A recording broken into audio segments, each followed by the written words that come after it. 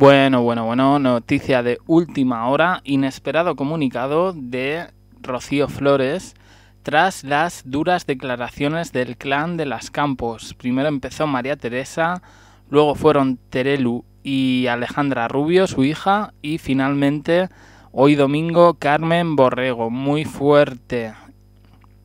Eh, vamos a contaros la reacción de la hija de Antonio David eh, sobre, toda, sobre toda esta polémica, bastante oportunista por parte de esta familia y de momento empezamos. Vale, como ya sabéis, nosotros somos Jack de Corazones, eh, un canal que hace noticias, vídeos, eh, podéis echar un vistazo y si os gusta suscribiros y darle a la campanita. Dicho esto, empezamos un poco con la noticia porque ya sabéis, primero fue el viernes eh, un especial deluxe donde acudió María Teresa Campos para eh, decir cómo había visto el documental de Rocío Carrasco. Al menos esa era la idea principal, pero finalmente resultó una masacre eh, contra Rocío Flores la verdad es que en ningún momento, eh, al contrario que la madre, se refirieron a ella como víctima, sino más bien también como verdugo y como cómplice eh, de su padre. Eh, una crueldad en las palabras de, la matriarca del, del, clan que no hicieron más que avivar la llama de la separación entre madre e hijos. Eh, la puntilla la puso Rocío Carrasco interviniendo en directo y por tanto apoyando a la que considera su segunda madre en los ataques contra su hija. Ya habíamos tenido un aperitivo esta semana en una entrevista que Terelu Campos le hacía a su madre en lecturas, porque ahora Terelu Campos, tras muchas polémicas con esa revista y muchas demandas, eh, ahora de repente colabora en lecturas. Bueno, y se ha estrenado con su madre. Y su madre eh, ponía verde eh, una vez más a Rocío Flores y además hablaba de los moedanos.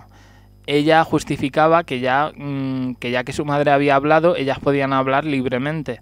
Hombre, y tan libremente, porque lo único que habéis hecho ha sido atacar de una manera feroz eh, a Rocío Flores cuando además reconocéis que apenas la habéis conocido. Eh, pero bueno, eh, yo no sé, la defensa, eh, hay determinadas defensas que yo obviaría. Pero bueno, aquí tampoco ya podemos disculpar a la madre, porque en el momento en el que ella entra para apoyar a Teresa Campos, a la que considera, como digo, su segunda madre, pues ya a partir de aquí mm, poco más hay que decir. en esa entrevista María Teresa Campos también arremetió especialmente contra Rosa Benito, eh, porque Rosa Benito, que es familia, era la mano derecha de Rocío Jurado, eh, su asistente, como queramos llamarla, pero es una persona, eh, aunque la hemos criticado aquí y hemos dicho también que ella ha dado bandazos en todo esto, mm, tiene dos cosas que mm, a su favor, y es que siempre ha defendido a los niños y dos, nadie puede cuestionar el, papel de Rosa Benito con Rocío Jurado. Bueno, pues la obsesión de María Teresa Campos ha sido, bueno, pues echarle la culpa em, a Rosa Benito de, bueno, de yo no quiero hablar de esa tía, unas palabras, unos desprecios que me parecen vergonzosos. Y yo pensaba que Terelu le iba a disculpar en Viva la Vida, y no solo no la ha disculpado, sino que encima se ha sumado a esos ataques que me parecen muy crueles, ¿vale? Porque a Rosa Benito se lo puede criticar mucho, pero desde luego está, está teniendo mucha más dignidad que todas vosotras.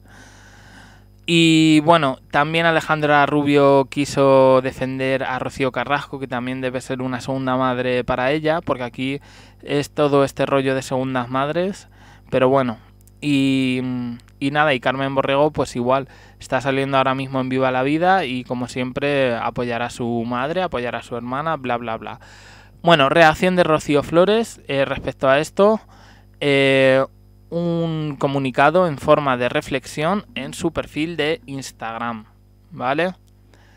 Eh, a ver, os lo voy a contar. Sí, bueno, pues nada, Rocío Flores, como siempre, se ha mantenido firme en su silencio a todo lo que respecta al testimonio de su madre. ha elegido en este caso la red social de Instagram para compartir una bonita reflexión en la que deja patente que nada ni nadie le va a impedir seguir disfrutando de las cosas buenas de la vida. Y ha compartido esta frase. Llegamos sin nada y nos iremos con nada, excepto lo vivido, lo compartido, lo amado, lo bailado, lo reído, lo disfrutado. Todo lo demás es prestado. Así que, eh, tremendo zasca, ¿vale? Era la típica reflexión de buenos días. Y, y bueno, pues yo creo que con esto a Rocío Flores quien le duele su madre, no esta familia postiza que se ha cogido, que ya lo hemos dicho, eh, me parece que el grado de influencia de esa familia en Rocío Carrasco me parece que es grandísimo, y me parece que no hace bien si en algún momento se quieren reconciliar eh, madre e hija. Y ya no madre e hija, sino madre e hijo. No sé, es que ya mm, me ha parecido tan fuerte las palabras sobre Rocío Flores. Mm, no lo entiendo, la verdad. Pero bueno, finalizamos contando que mm, el próximo miércoles es ya el último capítulo. Aunque bueno, habrá por ahí algún especial, como ya contamos también segunda temporada, eso lo contaré en otro vídeo. Y eh, Rocío Carrasco se va a enfrentar, parece, al paso de su hija por supervivientes, ¿vale? Con lo cual eh, toca otra masacre, otro linchamiento hacia Rocío Flores.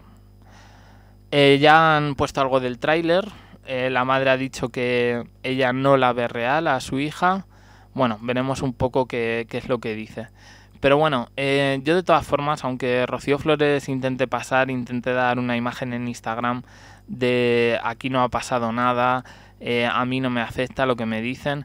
Eh, a ver, le afecta por un lado por su hermano, por otro lado por su madre y ya en mucha menor medida lo que digan las campos, ¿vale? Pero como digo, esa manera de dirigirse hacia ella no me parece ni de buena ni de buena persona. O sea, ya es, al menos, haya hecho lo que haya hecho la niña, dirígete con respeto porque al final no deja de ser la hija de tu de, de vuestra amiga, no sé. Y el hecho de que Rocío Carrasco entre en directo, como digo, para decir, ay, María Teresa Campos, está guapísima, tal, no sé qué, pues sinceramente me parece mm, bastante de vergüenza. En fin, podéis ver que he mejorado un poquito con la voz, por eso he tardado un poco más en, subir vídeo, porque tenía un poco que dejarla descansar. Pero bueno, eh, aquí estamos, somos Jack de Corazones. Si sois nuevos, suscribiros y darle a la campanita. Os invito a todos a que compartáis eh, este vídeo por redes sociales.